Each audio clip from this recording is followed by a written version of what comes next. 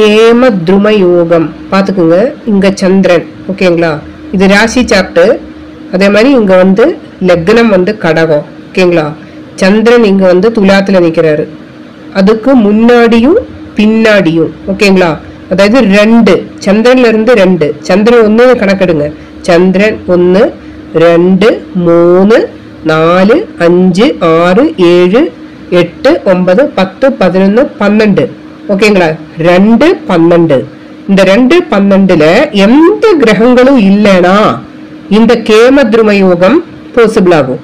ஓகேங்களா அதே மாதிரி கிரகங்கள் இல்லைன்னு நான் சொல்லிட்டேன். ஆனால் வந்து ராகு கேது சூரியன் இந்த மூணுமே நீங்கள் கணக்கெடுக்க கூடாது.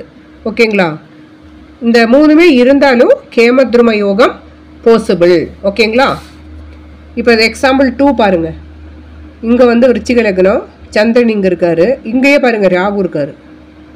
ராகு இருக்காரு. ரெண்டில் ராகு இருக்குது கேமத்ரும யோகம் பாசிபிள் இல்லை அப்படின்னு நம்ம சொல்ல முடியாது. இது கேமத்ரும யோகம் தான். ஓகேங்களா இப்போ எக்ஸாம்பிள் த்ரீ எக்ஸாம்பிள் த்ரீ வந்து மிதுன லக்ன ஜாதகர். அதே மாதிரி கும்பத்தில் வந்து சந்திரன் கூட ராகு. ஓகேங்களா சந்திரனும் இருக்காரு ராகுவும் கூடயே இருக்காரு. அப்போ கேமத்ரும யோகம் ஆனால் முன்னாடியும் பின்னாடியும் கிரகங்கள் எதுவுமே இல்லை.